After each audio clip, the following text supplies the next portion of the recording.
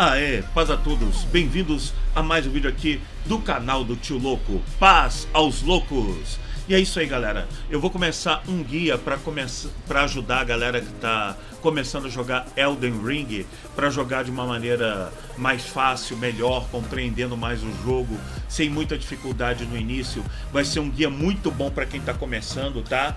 E para qualquer tipo de classe. Então, vamos lá. Vão ser vídeos curtos dando várias dicas, ensinando vários aspectos e coisas do jogo que são importantes para você começar a jogar bem o Elden Ring. Se você está com vontade de jogar, mas tem receio que é um jogo difícil da série Souls, tá? Esse guia vai ajudar muito você. Eu tenho certeza que vendo esse vídeo você vai se empolgar a jogar o jogo, tá? Então, sem mais delongas, vamos nessa.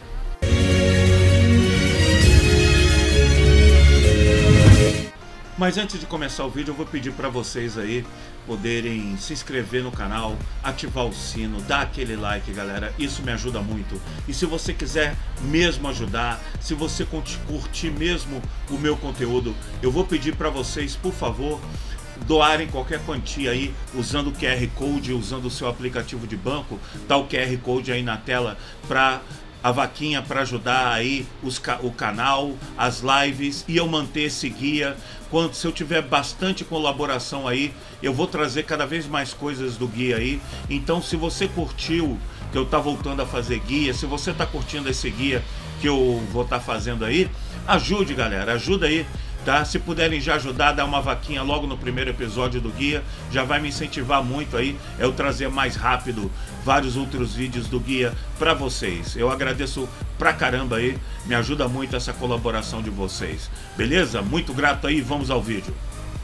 A primeira coisa que nós temos que aprender para poder jogar bem Elden Ring é entender quais são os atributos, porque são esses atributos que nós vamos evoluir o personagem e evoluir o personagem da maneira que nós queremos jogar o jogo, através do gameplay. Eu quero um personagem que bata forte, e quero um personagem que tenha seja um tanque, tenha muita defesa. Eu quero um personagem tipo ladino que bata rápido. Eu quero um personagem mais focado em poderes arcanos de magia de mago ou poderes de fé tipo um priest, ou quero fazer um paladino, para fazer tudo isso a gente precisa entender os atributos, tá? O primeiro atributo, que é o vigor aí, que é responsável pelo tamanho, quanto maior o vigor, maior vai ser a barra de vida, tá? Então aumenta o HP e consequentemente a barra de vida, aumenta a resistência a fogo e a veneno e aumenta a imunidade a certos efeitos dentro do jogo. Então para você ter mais vida no seu personagem, você precisa colocar pontos em vigor, porque quando você vai upando o personagem, você escolhe onde quer colocar os pontos, né? Para poder upar o seu personagem, subir o seu personagem de nível, que eu vou ensinar tudo direitinho aqui nesse guia. Já o segundo atributo, a mente, ela aumenta o ponto de foco. O ponto de foco, PF, seria a mana. Então isso aumenta a barra de mana. Né? Quanto mais mana, mais feitiços você consegue usar antes de precisar beber uma poção de mana, tá? E também aumenta a resistência ao fogo, ao, ao, ao fogo, a resistência ao foco, tá? Ah, em, em coisas que tentam te tirar o foco. Porque tem efeitos de inimigos que tentam, como loucura, que tenta te tirar o foco, tá? Mente é importante não só para magos, mas também para pristes e para paladinos que usam magia de fé, porque você vai precisar de mana também. Não só o mago precisa de mana, mas os pristes e os paladinos, qualquer um que usa magia precisa de mana, então vai precisar de mente. Se você não pretende fazer magia, você não vai precisar upar esse atributo, tá?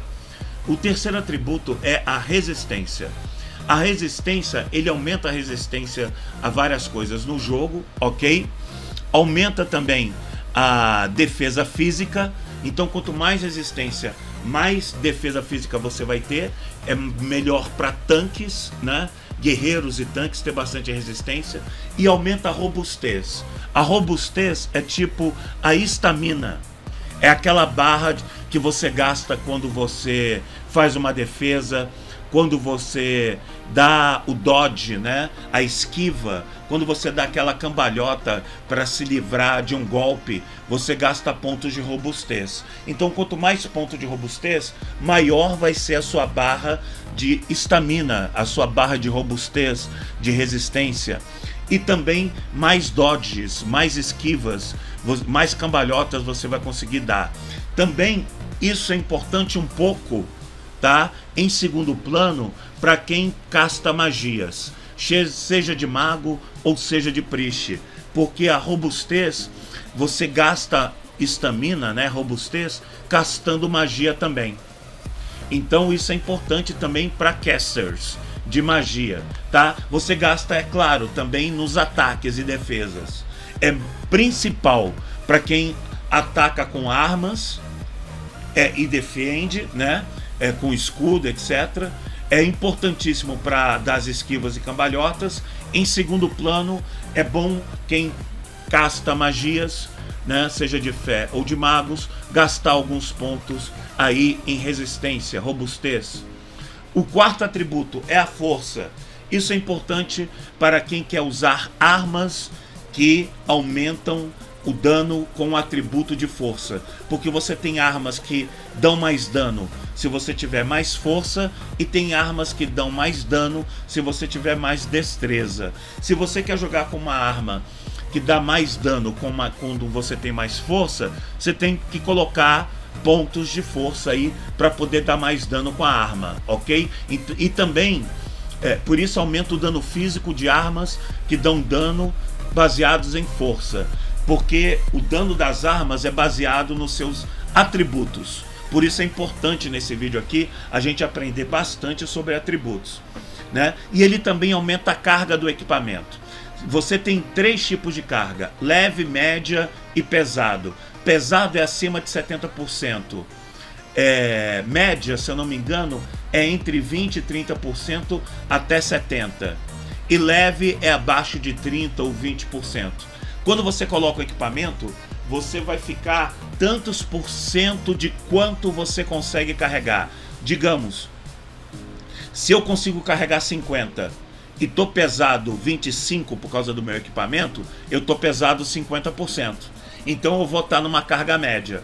Quando você está na carga mais leve, você dá esquivas e cambalhotas mais rápido, corre mais rápido e cavalga mais rápido. Quando você está numa carga mediana, você corre mais ou menos, dá cambalhota mais ou menos e cavalga mais ou menos. E quando você está numa carga pesada, óbvio, você dá cambalhota mais lento, corre mais lento e cavalga mais lento. Então, quanto mais pontos você colocar em força, maior o número de carga que você consegue ter. E, consequentemente, fica mais difícil você chegar numa carga pesada, beleza? Então, força aumenta essa sua capacidade de carga de equipamento também, tá? Então, vamos aí ao quinto atributo, a destreza. A destreza é quem quer atacar rápido. São armas baseadas em destreza, como por exemplo adagas. Se eu não me engano, o florete, que é aquela espada fina que você enfia no inimigo, que é usado na esgrima, também é de destreza, tá?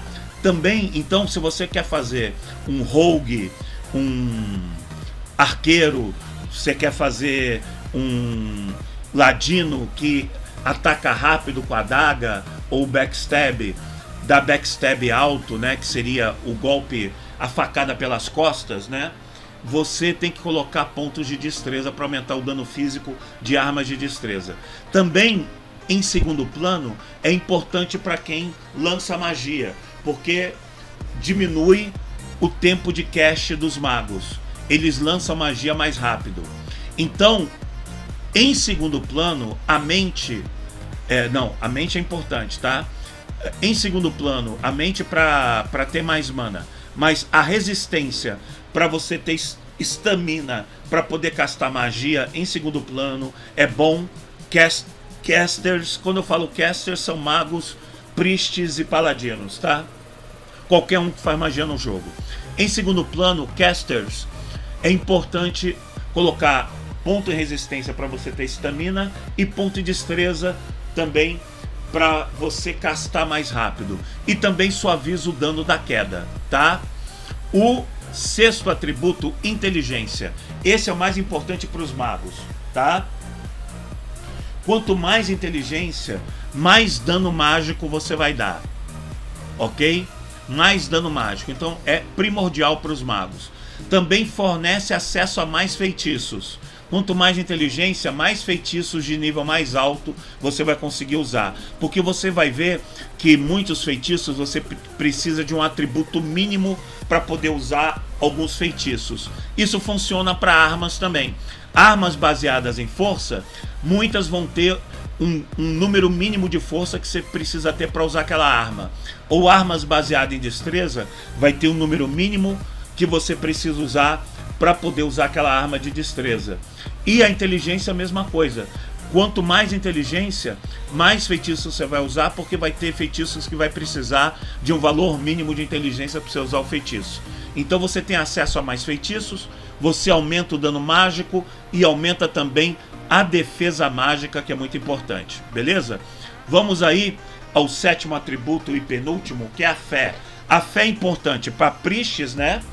Sacerdotes e também paladinos que vão usar magias baseadas em fé. Você tem dois tipos de magias em Elden Ring: os baseados em arcano inteligência e os baseados em fé, é, poderes, magias divinas. Que, então, você vai aumentar o dano mágico dessas magias que usam a fé. E também fornece mais acesso a encantamentos porque você, você tem equipamentos encantados e que precisam de um valor mínimo de fé para você usá-los. Então, quanto mais fé, mais acesso a mais equipamentos encantados você irá ter, tá? E por último, o oitavo e último atributo é o arcano. O arcano é importante para todo mundo, por quê? Porque ele aumenta a descoberta de itens. Quanto mais valor no arcano, mais itens vai dropar dos seus inimigos. Tá? Peças de armadura, armas, itens em geral, o drop dos inimigos vai melhorar. Então é importante para todo mundo colocar alguns pontos em arcano também. É, é, é, entenderam? E também aumenta a resistência à morte e permite o uso de certos feitiços e encantamentos. Certos feitiços e encantamentos também vão pedir aí um número mínimo de valor de arcano. Esses são os atributos aí para vocês entenderem. É o primeiro vídeo. No próximo vídeo eu vou falar sobre as classes, mas vocês vão entender muito melhor agora as classes entendendo os atributos de Elden Ring, beleza? Fica o primeiro vídeo do guia aí para vocês, para a galera começar a jogar bem. Muito grato aí, ok? E um recado final importante aí. Aê, o recado é que eu quero pedir para vocês aí novamente darem uma força aí no Pix, usando o QR Code aplicativo do banco, me ajuda muito, galera. Isso é muito importante aí para eu trazer vários episódios aqui para esse guia, vai me ajudar bastante. Por favor, colaborem aí com o Pix isso me, vai me ajudar muito, mas muito mesmo. Qualquer quantia doada ajuda pra caramba. Para manter o canal, para manter aí esse guia e para manter as lives também que eu ando fazendo. Assista as minhas lives aqui no YouTube ou na plataforma Roxinha, beleza? É importante para vocês aí me auxiliarem porque me, isso vai contribuir pra caramba para continuar trazendo conteúdo, tá, tá bom? Muito grato, não se esqueçam de aí também de dar aquele like, se inscrever no canal se não forem inscritos, deixa um comentário para ajudar aí no algoritmo aí, tá bom? E isso me ajuda bastante. Tô apanhando aqui. Valeu, até o próximo vídeo do guia. Espero que vocês tenham gostado aí. E eu vou trazer muita coisa nesse guia, hein? Muita coisa boa, tá? Recomendem o guia aí para amigos que vocês não vão se arrepender de estarem seguindo esse guia aqui, tá? Realmente vai ter muito conteúdo bom para vocês aí, muita dica, vocês vão começar a jogar The Ring de maneira muito mais rápida, fácil, tá? Vai facilitar aí a jornada de Elden Ring para vocês jogarem melhor aí. Vocês vão curtir pra caramba o guia e o auxílio de vocês aí no Pix é imprescindível aí pro guia continuar e para me dar uma força para continuar fazendo aí Muito, muito grato aí para quem vai colaborar e muito grato aí para quem vai assistir mesmo sem colaborar, porque a audiência de vocês, o like, comentário, recomendação do guia para amigos ajuda muito, mas há muito mesmo, tá bom? Então muito grato aí e até o próximo vídeo do guia. Valeu, galera. Fui.